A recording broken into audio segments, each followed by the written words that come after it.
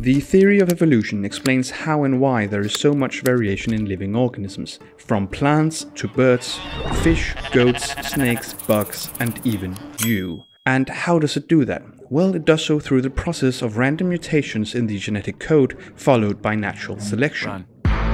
If a newborn organism is equipped with a mutated gene, it will potentially have a unique characteristic that will either make it better suited for the natural environment it finds itself in, or it will make it less suited for the environment.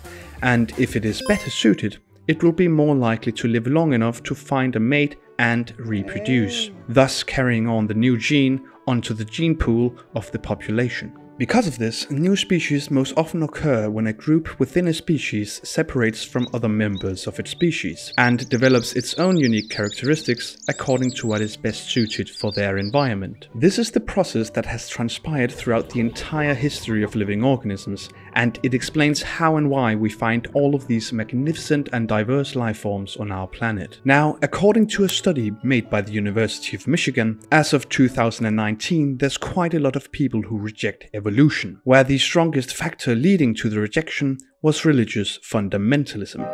Cut it, cut it, cut it, cut it. So why don't we go through some of the most compelling evidence for evolution?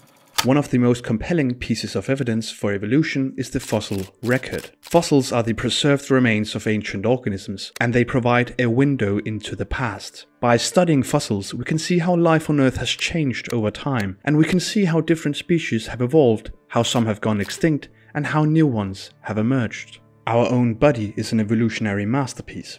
If you place your finger at your anus and move it an inch or so upwards to the end of your spine, you might feel your tailbone, also known as the coccyx.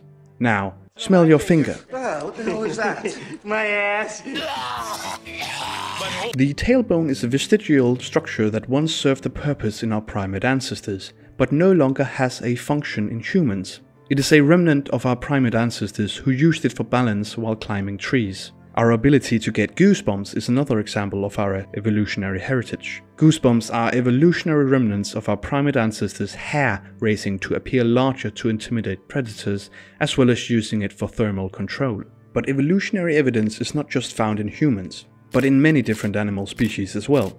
Some animals, like snakes and whales, have vestigial structures that show evidence of their evolutionary past. Despite the fact that whales as we know them do not have legs, they still have vestigial pelvic bones that are small and have no function. These bones are remnants of their ancestors' legs, and they serve no purpose in the whale's body. This is because whales are descended from land mammals, and their ancestors had legs and walked on land. However, over time, their legs became smaller and eventually disappeared as they evolved to live exclusively in water.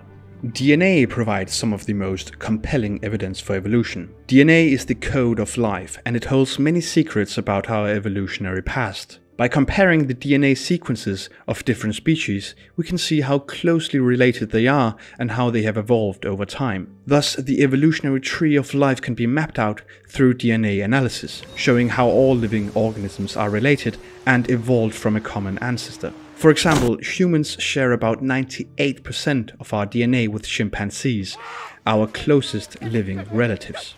One of the most fascinating areas of research on evolution is experimental evolution. Scientists have been able to observe evolution happening in real time, using organisms that reproduce quickly and can be studied in the lab, tracking changes in their genetic makeup and observing how they adapt to new environments. One famous example of experimental evolution comes from the work of Richard Lenski, who has been studying a population of E. coli bacteria for over 30 years. In that time, he has observed the bacteria evolving in response to their environment, including the ability to digest new types of food. Also, evolution can be observed through the process of random mutations followed by artificial selection. Dog breeding is an example of artificial selection, which is a process that mimics natural selection but is carried out by humans rather than by the environment. Humans selectively breed dogs to create new breeds with specific desirable traits, such as size, coat type, and temperament. Over time, these selective breeding practices have led to significant genetic changes within dog populations, demonstrating evolution in action.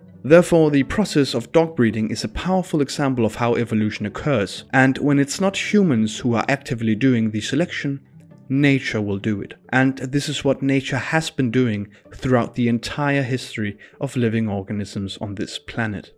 The theory of evolution is therefore not just a theory, it is a fact that is supported by a vast amount of evidence, from the evidence found in our own body to the DNA evidence that links all living beings. By understanding evolution, we can better understand our place in the world and how we came to be.